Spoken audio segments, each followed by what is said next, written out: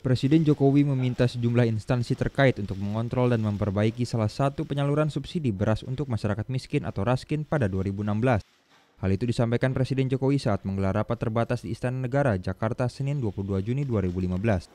Perbaiki dan menyempurnakan mekanisme penyaluran raskin dan memastikan raskin sampai pada yang berhak dan yang paling penting dalam kondisi yang layak untuk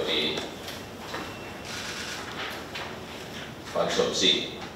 Jokowi juga menyoroti sejumlah penyebab yang menjadi keterlambatan penyaluran raskin kepada masyarakat. Kemudian keterlambatan penyaluran raskin ini dialami juga oleh daerah tertentu.